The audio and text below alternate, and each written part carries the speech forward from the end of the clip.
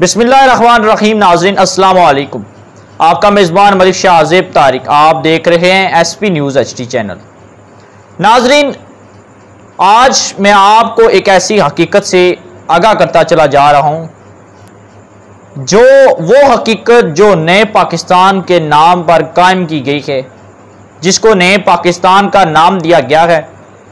ऐसा ही एक अमली इकदाम यकीनन ये जितना भी ऐसा वाक़ हुआ है, इसकी ज़िम्मेदार आज तब्दीली सरकार, इसकी ज़िम्मेदार हुकूमत और इसकी ज़िम्मेदार सूबाई हुकूमत है।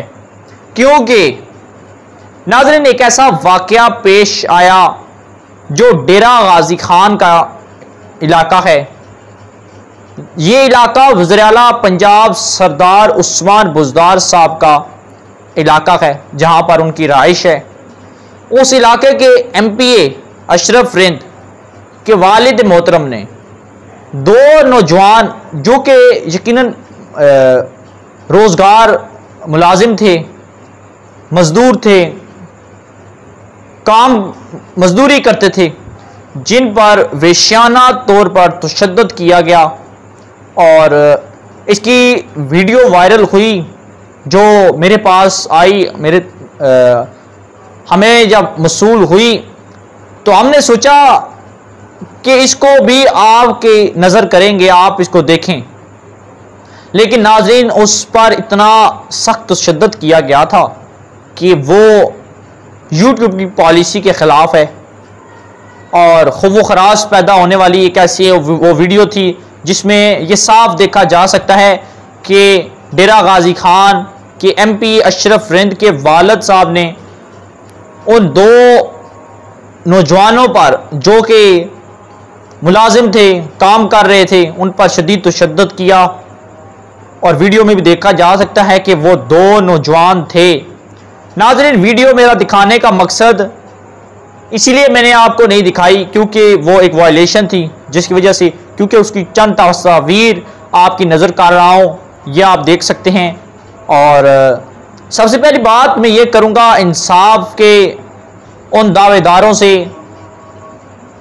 तब्दीली सरकार से कि ये था आपका इंसाफ, गरीब, मजलूम आवाज़ को बुलंद करना, ये था आपका इंसाफ। आपका इंसाफ तो मुझे लगता है कि गरीब आवाम को ख़त्म करना और उनके जज्बात को ख़त्म करना और गरीब आवाम को पिस देने वाली बात है।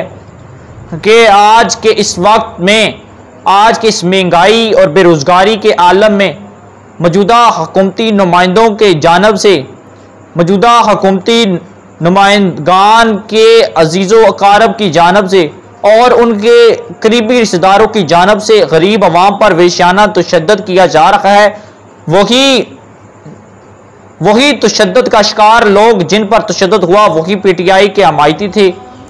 उन्हीं लोगों ने पीटीआई की आवाम, पीटीआई को सपोर्ट किया और आज इकतदार में वजी अजम पाकिस्तान इमरान खान साहब आए। उन्हीं लोगों ने वजी अला पंजाब उस्मान बुजदार साहब को वोट दी, इंतखब किया उनका और आज उन्हीं की आवाम को वेशाना तशद का निशाना बनाया जा रहा है। नाजरीन, अगर ये वीडियो वायरल ना होती, ये वीडियो आम तक ना पहुँचती, एसपी न्यूज़ चैनल के पास ना आती तो यकीनन ये एक बहुत जुल्म की इंतहा हो जाती उन पर।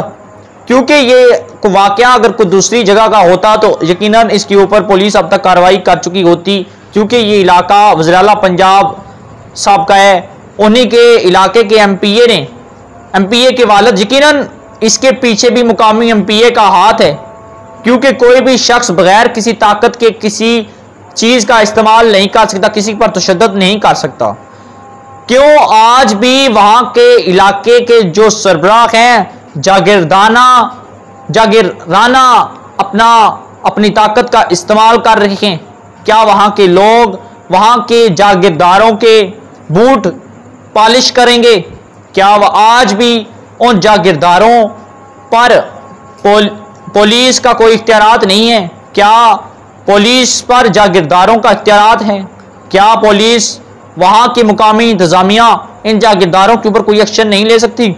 यकीन आज भी इस वाक़े के पीछे, इस वेशाना पन और तशद के पीछे भी वहाँ के M P A Ashraf Rind का मुकम्मल तौर पर हाथ है, क्योंकि कोई भी, ये हमारे नाजरीन बेहतरीन तरीके से जानते हैं, वहाँ पर कोई भी ऐसा, कोई भी काम, कोई भी शख्स ऐसा कोई काम नहीं कर सकता जिसके पीछे उसकी कोई ताकत ना हो। यकीनन सबसे बड़ी ताकत का सरचश्मा अल्लाह है। और आ, हम उम्मीद करते हैं अपनी इस वीडियो की वसात से एस पी न्यूज़ चैनल की वसात से कि वज़र पंजाब उस्मान बुजदार साहब इसके ऊपर मुकम्मल नोटिस लेंगे और जिन्होंने वैशाना तशद किया उनको इबरतनाक सज़ा दिलवाएँगे और वज़र अजम पाकिस्तान इमरान खान साहब भी इसके ऊपर मुकम्मल तौर पर नोटिस लेंगे।